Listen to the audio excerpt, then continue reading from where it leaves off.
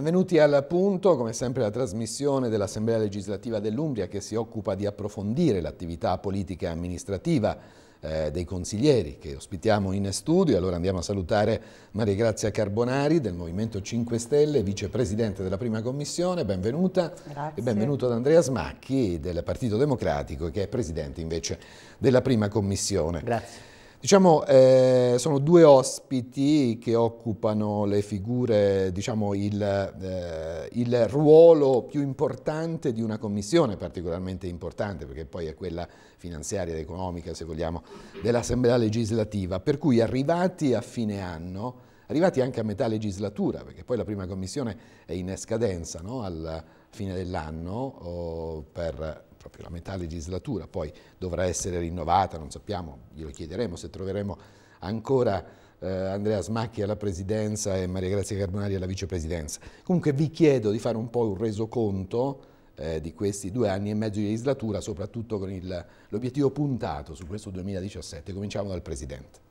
Sì, credo che la prima commissione sia intanto la commissione istituzionale per eccellenza, quella che si occupa di riforme, si occupa di bilancio, di programmazione comunitaria e quindi questi due anni e mezzo sono stati particolarmente importanti eh, in conseguenza sia delle scadenze annuali, quelle del documento di economia e finanza, del bilancio, della legge di stabilità, ma anche in relazione a quella programmazione comunitaria che è partita nel 2014 e scadrà nel 2020. Io credo che il lavoro fatto con i colleghi della prima commissione e con la vicepresidente, la, la Maria Grazia, sia stato un lavoro costruttivo a disposizione e nell'interesse di questa regione, chiaramente anche da fronti contrapposti, ma con l'unico obiettivo di fare il massimo per poter costruire un bilancio, una programmazione, delle riforme all'altezza dei tempi e adeguati anche al momento. Eh, spero di poter continuare in questo ruolo e con eh, vicino Maria Grazia perché lei quando c'è da dare un contributo c'è sempre e come gli ho detto anche nei scorsi giorni è una persona eh, particolarmente eh, attaccata al ruolo nel momento in cui c'è da studiare, da dare un contributo e sempre nell'interesse della collettività. Quindi con lei mi sono trovato bene e spero di continuare questa esperienza. Aveva più paura dei 5 Stelle quindi prima, prima del loro arrivo Smacchi? Ma guardi, ehm, nell'opinione pubblica nazionale i 5 Stelle sono un eh, movimento di protesta, un movimento dei no. Eh, di fatto, quando poi eh, sono con noi, quando sono negli organismi eh, anche istituzionali, sono delle persone per bene che amano eh, la nostra terra, amano le istituzioni e quindi cercano di dare il loro contributo. Chiaramente in alcuni casi eh, sono probabilmente un po' più ehm, diciamo, eh, forti negli argomenti, eh, ma l'obiettivo spesso è comune. Allora, eh, Carbonari, insomma, dopo questa, possiamo dire, sviolinata del Presidente, questo è il suo punto di vista, insomma, dalla maggioranza, no? Poi lei è all'opposizione, lei che dice di questi due anni e mezzo di, di, di, di legislatura, di metà legislatura? Beh, sono stati due anni e mezzo molto intensi, eh, soprattutto per me che è la prima esperienza politica questa, eh, per cui sono stati abbastanza mh, problematici soprattutto nella prima fase in cui sono entrata all'interno di un meccanismo che non conoscevo. Eh, dopodiché diciamo, ho preso un po' più il via eh, concordo nel fatto che penso che la prima commissione stia lavorando bene, il merito è sicuramente del Presidente ma anche dei membri della Commissione, voglio dire tutti eh, che comunque sono presenti e mh, comunque ognuno con, pro, con, il proprio contributo ehm, permette l'esame di tutti gli atti che appunto passano sul tavolino della prima Commissione. Ehm, questi, questo periodo oh, per me eh, è stato caratterizzato anche da, dalla scoperta di alcune mm, criticità all'interno del, della, della, macchina regione e partecipate ehm, che ho voluto sollevare poiché sono appunto all'opposizione, quindi dal mio punto di vista è necessario che un'opposizione funzioni in modo preciso, puntuale eh, che, fu che, funga da pungolo, appunto, perché quando c'è un'opposizione una efficiente, un'opposizione eh, anche dura, beh, questo permette alla Giunta di poter lavorare al meglio. Io penso che eh, se anche nell'immaginario collettivo noi rappresentiamo un po' quello che viene definito no, come solamente come movimento di protesta, come movimento di no, in realtà, mh, e lo dico non solo per noi eletti a tutti i livelli, ma anche per i nostri attivisti c'è molta passione eh, nel nostro impegno politico e questa passione ci porta a cercare sempre tutti di lavorare al meglio.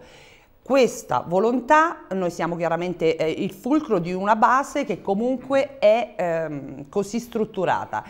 Eh, ritengo che anche grazie al nostro eh, avvento, diciamo così, in Consiglio regionale, la nostra azione abbia in qualche modo sollecitato anche il resto dell'opposizione, perché ho trovato un'opposizione, resto, non noi, che all'inizio era un po', sembrava un po' addormentata, un po' un po' così, diciamo, un po' accomodante. Dopodiché, dopodiché chiaramente eh, eh, non poteva, no? E quindi ha, ha, dato il suo. Allora, stiamo parlando di politica, oggi stiamo registrando questa trasmissione, oggi è lunedì 11 dicembre, una giornata di lutto per la politica umbra, eh, per la morte improvvisa, prematura del sindaco di Spoleto Fabrizio Cardarelli, al quale chiaramente alla sua famiglia vanno le condoglianze di tutta eh, la redazione per quanto ci riguarda dell'agenzia ACS, dell'ufficio stampa dell'Assemblea legislativa. Ma credo sia una, una pagina triste, no? questa di oggi e di questa settimana per la perdita di un personaggio, al di là del politico più o meno politico,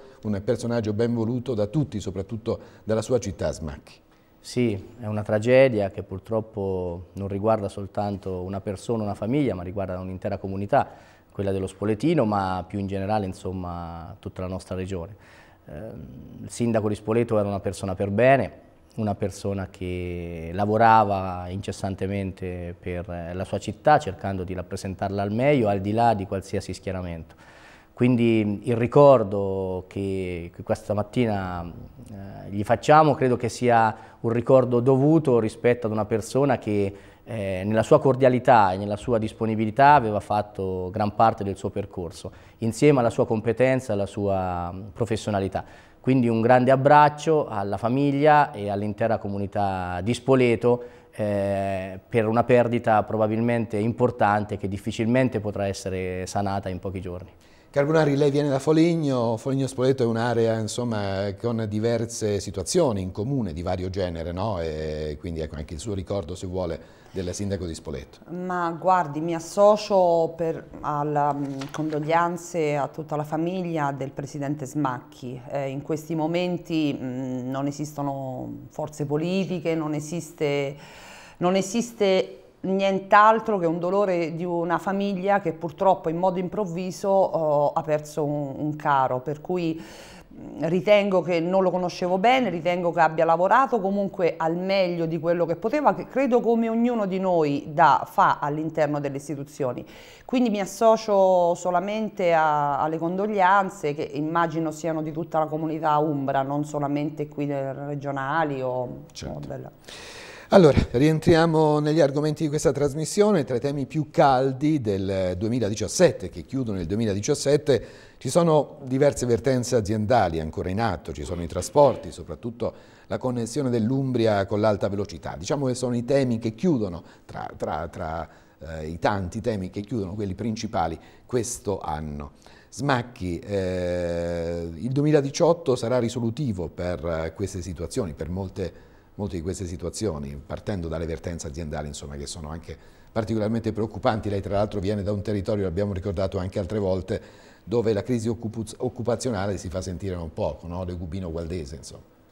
Io credo che il 2018, ma il triennio che abbiamo di fronte, sarà sicuramente fondamentale per eh, capire che Umbria avremo nel 2020 eh, dal punto di vista economico, dal punto di vista delle infrastrutture, dal punto di vista, come diceva lei, del, dei trasporti nello specifico. Io credo che eh, il documento di economia e finanza e tutti i documenti di bilancio che stiamo predisponendo eh, vanno in quella direzione, cioè eh, di eh, riposizionare la nostra regione a fronte anche di una ripresa che c'è e a numeri importanti anche eh, rispetto al dato nazionale noi siamo superiori sia per quanto riguarda il PIL sia per quanto riguarda eh, l'esportazione all'interno del PIL.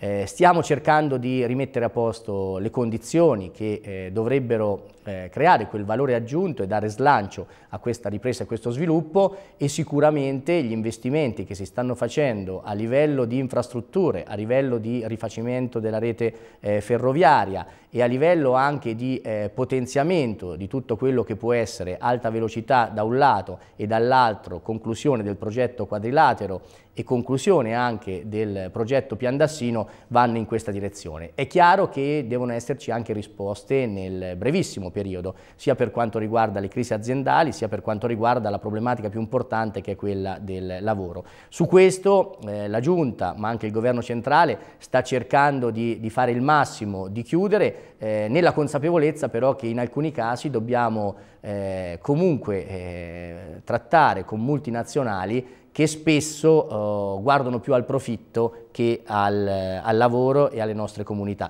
Quindi su questo dobbiamo essere particolarmente attenti e fare delle pressioni importanti perché per noi non è solo importante la ripresa economica ma soprattutto la ripresa del lavoro. Carbonari.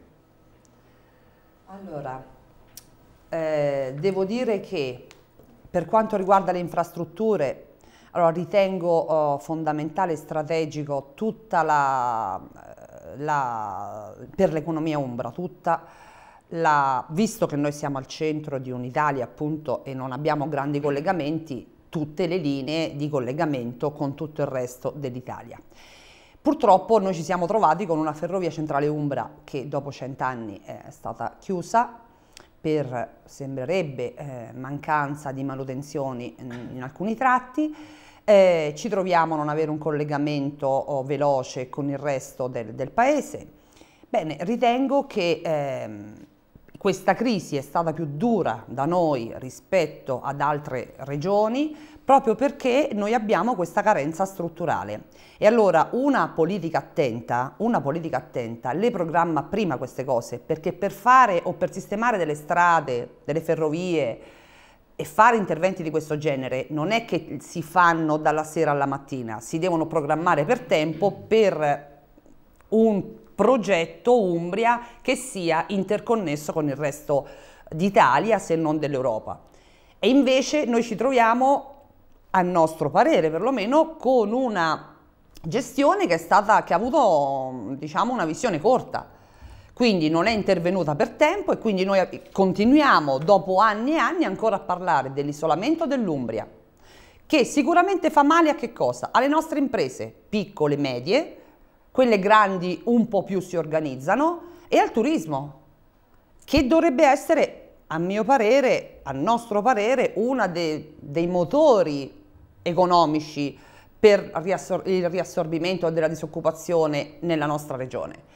E vorrei anche ricordare alla, alla giunta e a tutta l'amministrazione che il sostegno della regione deve andare non solamente verso quegli imprenditori che hanno più forza, che sono più grandi, che hanno più potere, ma noi siamo pieni, abbiamo un numero infinito di piccole e medie imprese che ogni giorno lottano e lottano di brutto per eh, stare sul mercato. Ecco, allora io vorrei ricordare che anche quelle hanno bisogno di noi.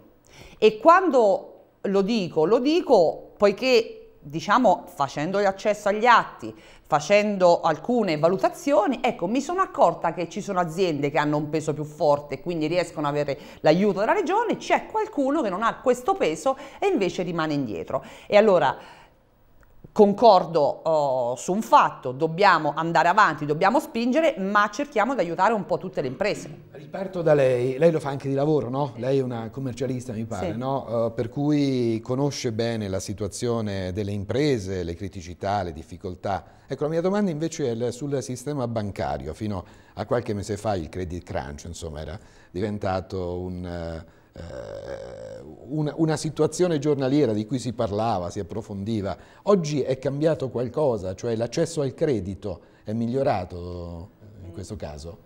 No, l'accesso al credito è sempre molto difficile poiché ci sono dei vincoli imposti anche dall'Europa che eh, richiedono, diciamo, in qualche modo ehm, obbligano le banche a rispettare tutta una serie di parametri e eh, quindi le banche si muovono solamente se hanno dietro molte garanzie, purtroppo nella nostra, non solo nella nostra regione, eh, in Italia è così, e anche del, dei consorsi fidi che in qualche modo oh, in, si assumono la, la, assumono la, garanzia per le somme erogate.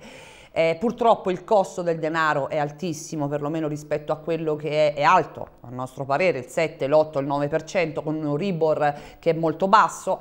Eh, probabilmente questo costo del denaro sta scontando tutta una serie di crisi eh, e di crediti in sofferenza o persi da parte delle banche per cui oggi si stanno rifacendo su questo maggior costo del denaro che però va a, a, caricare, a caricarsi su, sui conti economici di tutte le piccole e medie imprese. Io non vedo ancora, devo dire la verità, un segno, una spinta forte sul credito che sarebbe necessario.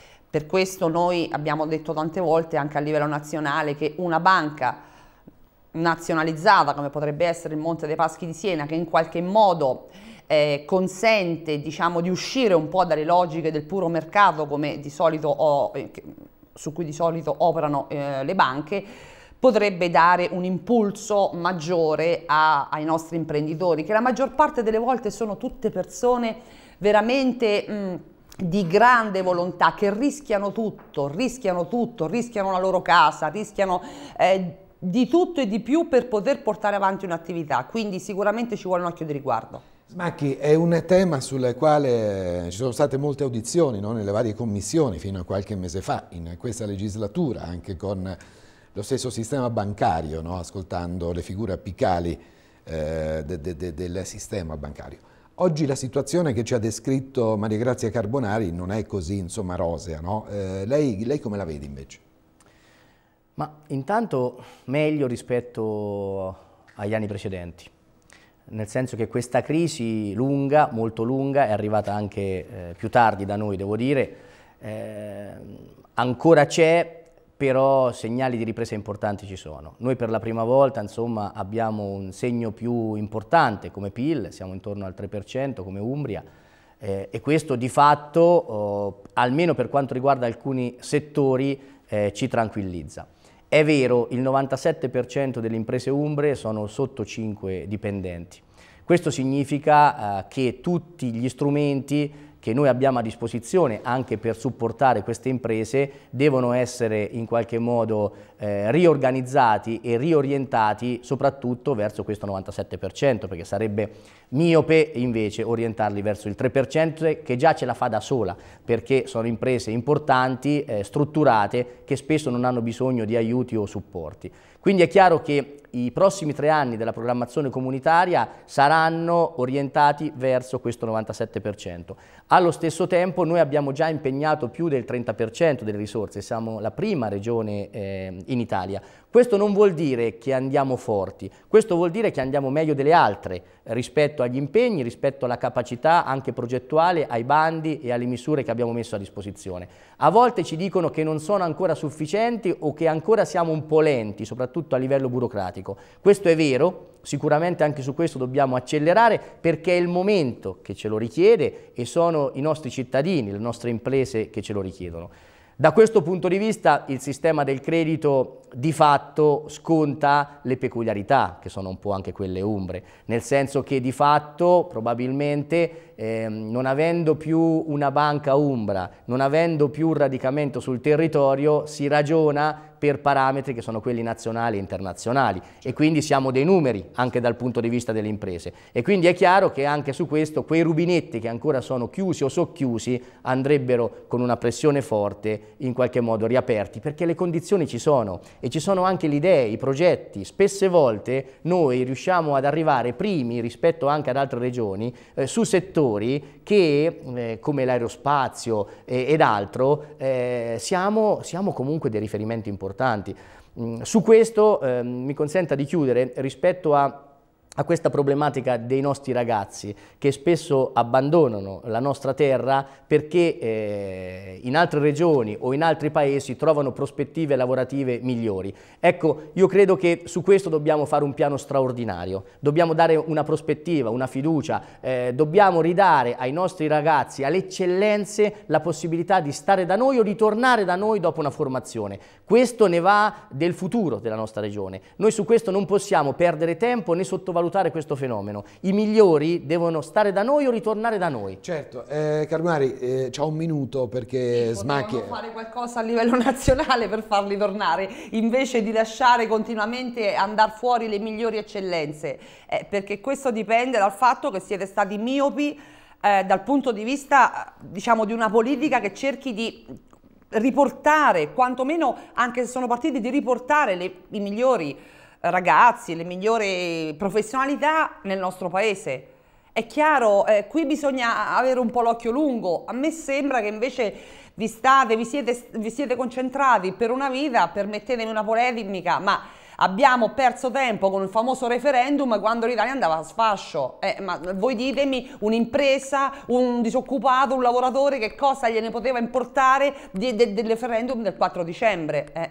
Quindi chiaramente lì eh, non avete fatto quello che doveva essere fatto. Smacchi 10 secondi però. Eh. Il referendum aveva un altro significato, quello delle riforme, quello dell'innovazione di un paese e quello della possibilità di farlo ripartire in maniera più veloce. Ma in 10 secondi no, altro non, non ce la facciamo, dire. non ce la facciamo. Allora parliamo invece della Valnerina, del sisma del 2016, del secondo Natale eh, che le persone insomma, colpite da, da, questi eventi sismici eh, vivono eh, ancora con qualche criticità, dobbiamo dire, anche se sembra che nell'ultimo periodo insomma, si stiano mettendo un po' meglio le cose. In quali condizioni affronteranno questo secondo Natale? Carbonari, riparto da lei. Con qualche criticità, direi con molte criticità, perché abbiamo visto che è passato un anno uh, e qualche mese, eh, Er, sono state fatte tante promesse, ma ancora se si va a Norcia si vede che poco è stato fatto, le macerie eh, sono ancora lì. E da poco abbiamo assistito anche, anche recentemente, c'è stata una consegna di credo 68 moduli, ma saremo al 55%?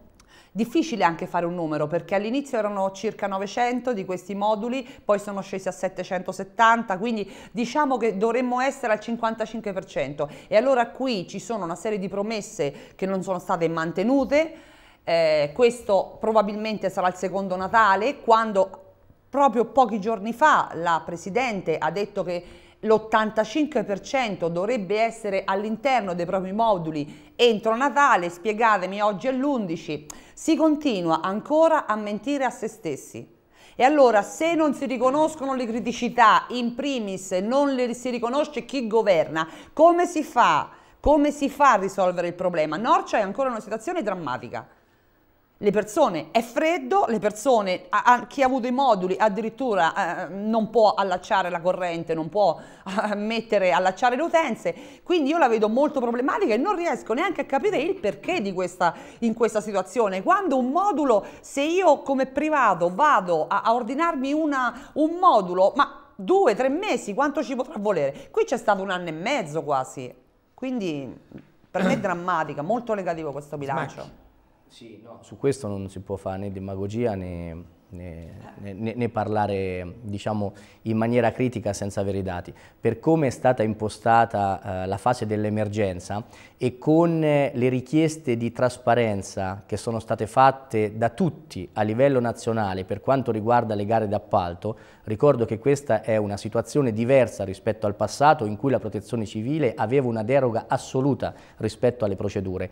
Eh, ora non è più così quindi vanno fatte gare d'appalto, vanno fatte eh, sotto anche tutta una serie di monitoraggi fatte dall'autorità anticorruzione di Cantone. Detto questo, eh, come diceva la Presidente, per quanto riguarda l'Umbria, ci saranno ulteriori consegne da qui alla fine dell'anno e si arriverà, questo è l'impegno preso, all'85% delle persone che avranno la possibilità di avere un modulo abitativo eh, per quanto riguarda l'edilizia privata. Per quanto riguarda le imprese, sono partiti tutta una serie eh, di eh, investimenti per la delocalizzazione eh, quando è possibile farlo in altri siti, parlo sempre della zona Umbria e per quanto riguarda le infrastrutture ci sono tutta una serie di investimenti per far sì che in tempi brevissimi eh, si possa far sì che le infrastrutture vengano in qualche modo eh, rimesse eh, a regime. Eh, va detto che l'anno della ricostruzione vera e propria sarà il 2018, quindi eh, a partire dal mese di aprile del 2018, quando la fase dell'emergenza sarà completamente